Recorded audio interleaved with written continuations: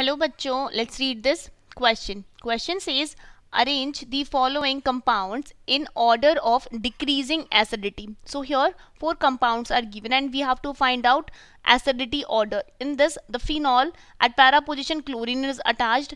Here in this phenol at para position methyl group is attached. Here nitro group is attached and here in this methoxy group is attached with the para position of phenol and the options are given second is greater than fourth is greater than first is greater than third first is greater than second is greater than third is greater than fourth third is greater than first is greater than second is greater than fourth and the fourth option is fourth is greater than third is greater than first is greater than second so here acidity order so acidity we can write our key concept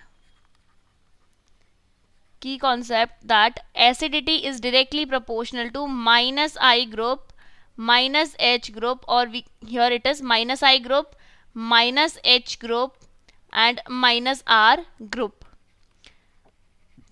Now we can see in this in these structures the first is in this phenol here and at para position chlorine group in next at phenol here in this at para position methyl group is attached.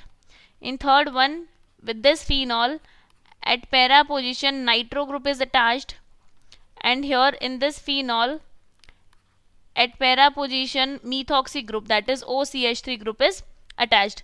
Now, now we can see that here in this the CH3 group this is here firstly this Cl group this is a minus I this group shows minus I effect. And in this the CH3 this shows plus H effect or we can say plus I effect. And nitro group nitro group shows minus R effect. And this OCH3 group shows plus R effect.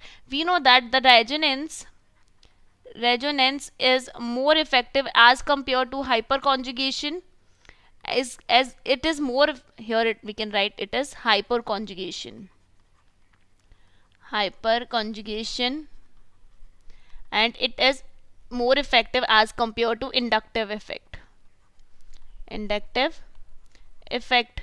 So these minus i minus h and minus r group will increase the acidity and also the plus i plus h and plus r group decrease the acidity. So here the highest acidity will be of third compound. After that the minus group is showing by this chlorine.